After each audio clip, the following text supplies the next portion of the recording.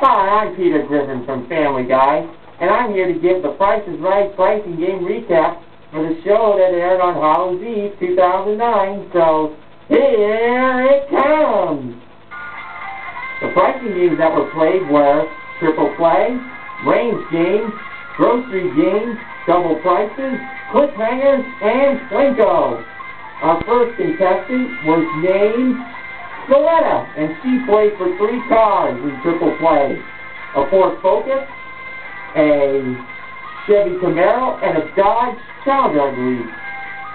She believes that the Ford Focus was close to 16380 without going over, and that was the car price where it said yes. So she went on to the Camaro. She believes near to the actual retail price without going over was Twenty-five thousand seven seven seven, not twenty thousand six forty-five or twenty-two nine ninety-five.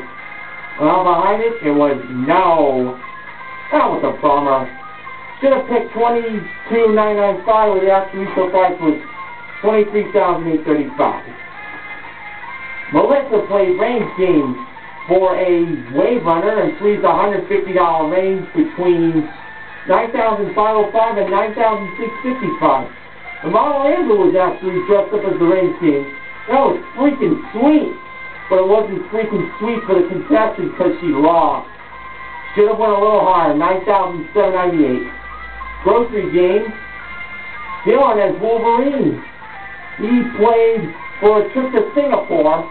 He picked two uh, packages of stuffed soap and one carton of eggs.